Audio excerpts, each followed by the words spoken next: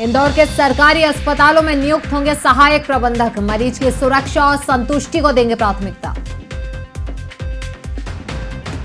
उज्जैन के महाकाल मंदिर परिसर में पानी भरने का वीडियो वायरल होने पर बोले कलेक्टर, कहा, भ्रामक सूचना फैलाने वालों पर होगी कार्रवाई।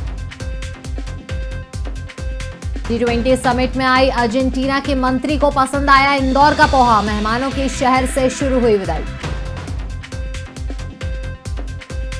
मणिपुर की घटना को लेकर छलका उमा भारती का दर्द, महिला हिंसा पर आरोप प्रत्यारोप की सियासत करने वालों को दी नसीहत।